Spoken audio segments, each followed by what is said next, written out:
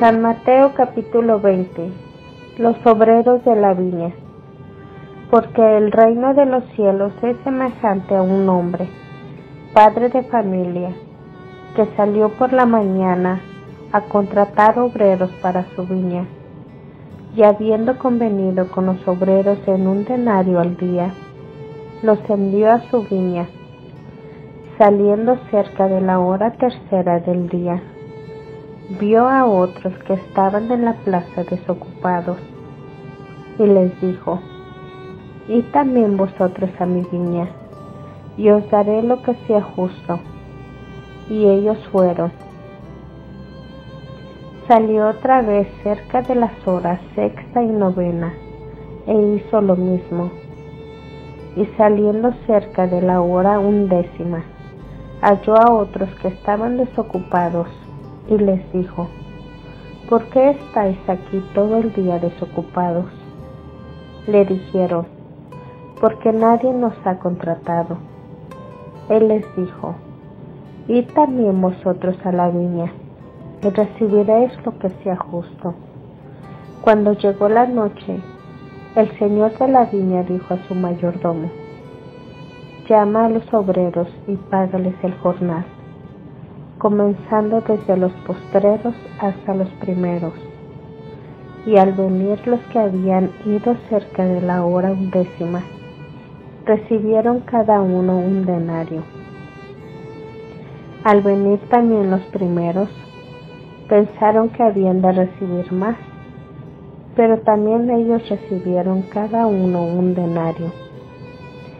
Y al recibirlo, murmuraban contra el padre de familia, diciendo, estos postreros han trabajado una sola hora y los has hecho iguales a nosotros, que hemos soportado la carga y el calor del día.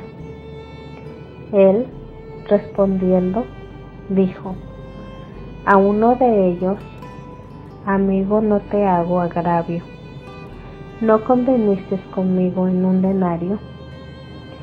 Toma lo que es tuyo y vete, pero quiero dar a este postrero como a ti. ¿No me es lícito hacer lo que quiero con lo mío? ¿O tienes tu envidia? Porque yo soy bueno. Así los primeros serán postreros y los postreros primeros porque muchos son llamados, mas pocos escogidos. Nuevamente Jesús anuncia su muerte. Subiendo Jesús a Jerusalén, tomó a sus doce discípulos aparte en el camino y les dijo, He aquí subimos a Jerusalén y el Hijo del Hombre será entregado a los principales sacerdotes y a los escribas y le condenarán a muerte y le entregarán a los gentiles para que le escarnezcan, le azoten y le crucifiquen, mas al tercer día resucitará. Petición de Santiago y de Juan.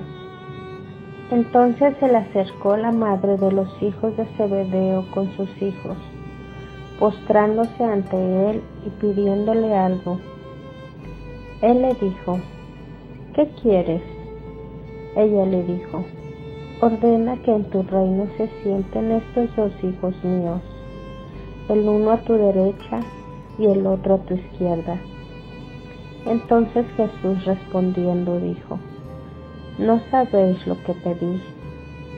¿Podéis beber del vaso que yo he de beber y ser bautizados con el bautismo con que yo soy bautizado. Y ellos le dijeron, podemos. Él les dijo, a la verdad, de mi vaso beberéis, y con el bautismo con que yo soy bautizado, seréis bautizados. Pero el sentaros a mi derecha y a mi izquierda no es mío darlo, sino a aquellos para quienes está preparado por mi Padre.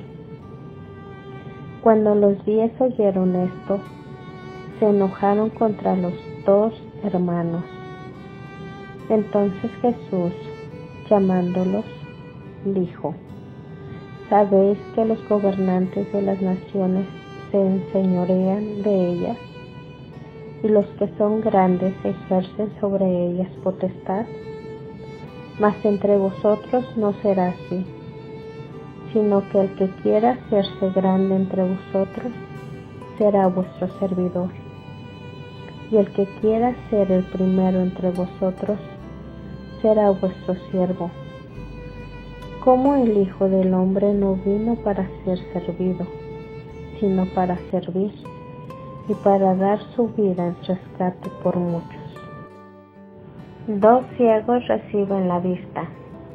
Al salir ellos de Jericó, les seguía una gran multitud, y dos ciegos que estaban sentados junto al camino, cuando oyeron que Jesús pasaba, clamaron diciendo, Señor, Hijo de David, ten misericordia de nosotros. Y la gente les reprendió para que callasen. Pero ellos clamaban más, diciendo, Señor, Hijo de David, ten misericordia de nosotros. Y deteniéndose Jesús, los llamó y les dijo, ¿qué queréis que os haga? Ellos le dijeron, Señor, que sean abiertos nuestros ojos. Entonces Jesús, compadecido, les tocó los ojos y enseguida recibieron la vista y le siguieron.